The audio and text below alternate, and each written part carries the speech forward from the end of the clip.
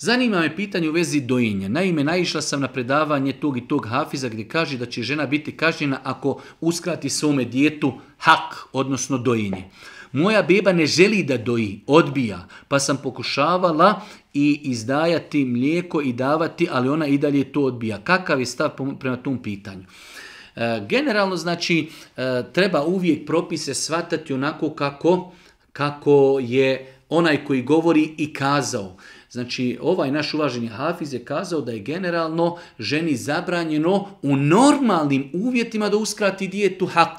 Ali žena daje sve od sebe. Ona nije uskratila dijete, ne želi taj hak.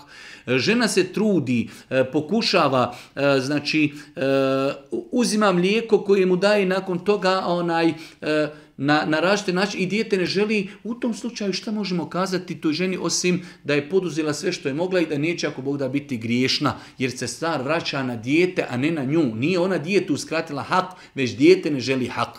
Tako da, znači nadamo se da ova naša sestra nije griješna nikako, zato što sve što je mogla poduzela je, pokušavala je da dijetu, znači daje im mlijeko, ono ne želi, tako da, inšala bizna, na nju se ne odnosi e, govor spomenutog hafiza.